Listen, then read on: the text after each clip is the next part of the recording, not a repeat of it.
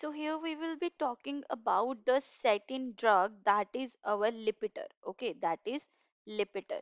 So if we talk about the Lipitor, it be